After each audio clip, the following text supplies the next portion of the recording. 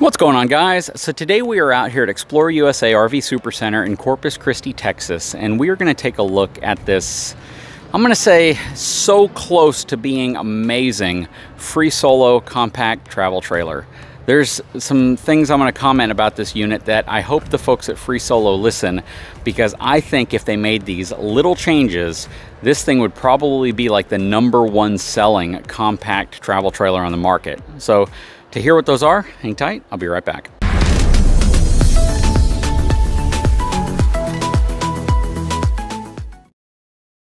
All right, before we get going, let's take a look at the numbers on this unit.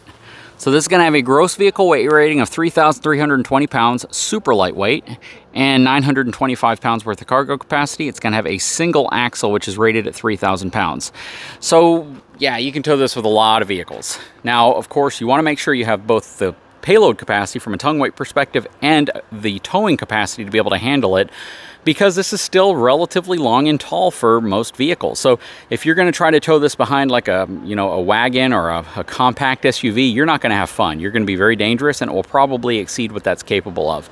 But if you have like a Ford Explorer, Dodge Durango, um, maybe full-size SUV, half tons, things like that, this should be no problem. Just again, be very careful and make sure that your specific vehicle is equipped with the towing package and has the capability, both in terms of capacity and towing capacity, to be able to handle something like this. A lot of people may not realize that even though they may have something like a Durango, there's a big difference between a Durango with a towing package and one without it. And most of them don't come with it. So just keep that in mind. Anyways, we're going to start with the inside of this unit. Then we're going to come out and take a look at the outside. Because right off the bat, when we look at the inside of this unit, I think you're probably going to be able to identify what my suggestions are going to be for the folks over at Free Solo. So let's hop inside of this Free Solo din. All right, so you got a steel entry step here. No friction hinge door, at least it doesn't feel like there's one. That would be a nice addition to it. So friction hinge door. I'd put like an aluminum step here, maybe two steps. It's not that it's a very tall step, but two steps just make it a little bit more convenient to get into.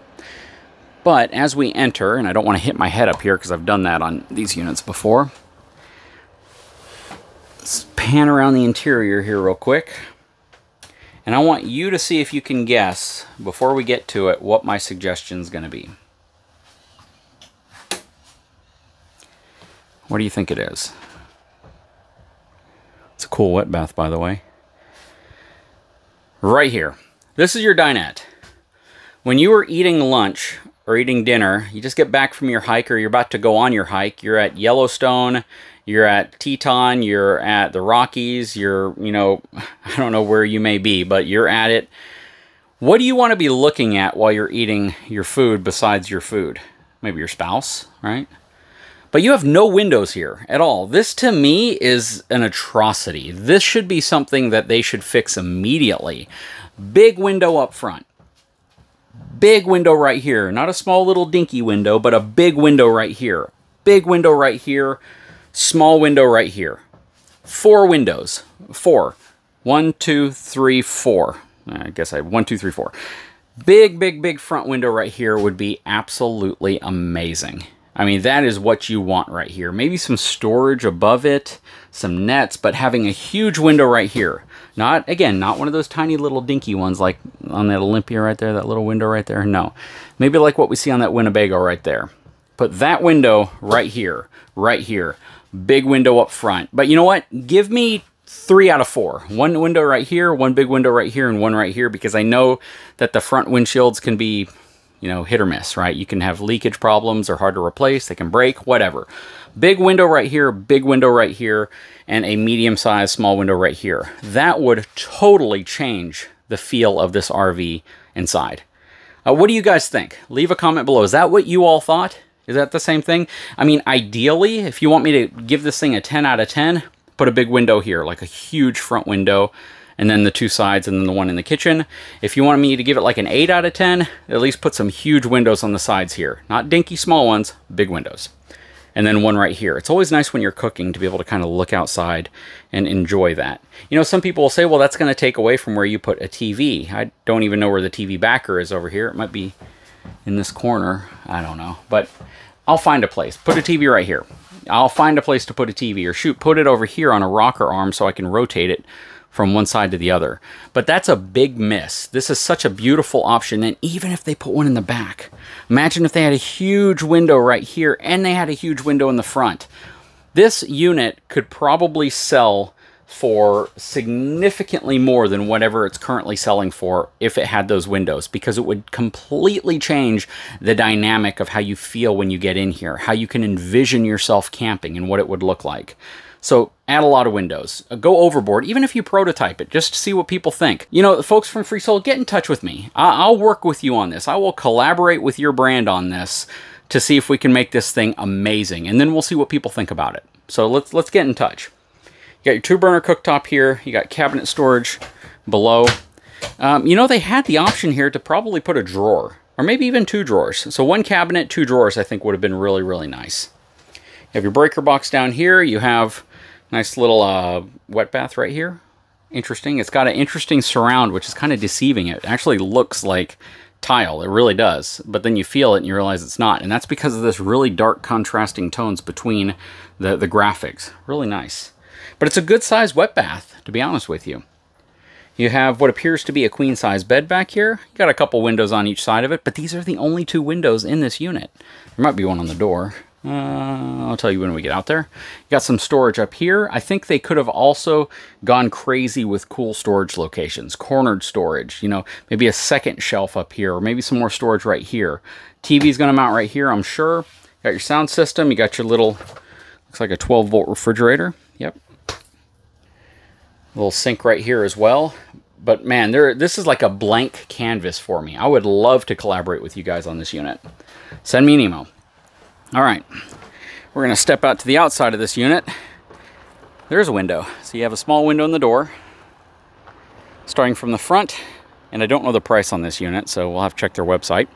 Starting from the front, you have a manual front tongue jack. You have a 20 pound propane can. You have a spot here to throw some batteries, maybe some storage, firewood, whatnot. You have a nice upgraded coupler. That's nice.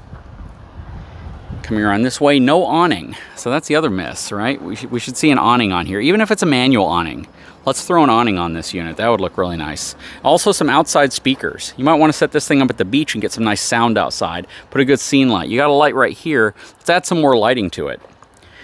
Got this off-road tire right here. This is a Rainier ST tire. This also rides on torsion suspension. So this is such a confusing unit because it's got these really great elements to it. It's just, it needs a few more. This looks like it's going to be some storage. It's got a good size pass-through storage down here. And it's finished off really nicely. From the back, got LED strip lights right here. You got your stabilizer jacks. Got some more LED lights over there. That's the other side of your pass-through storage. You got your dump valve over here, outside shower right here, city water connection, 30 amp connection right here for your AC. You got the outside of your furnace plus cable, outside of your water heater, fresh water connection, and then that is your AC unit right there.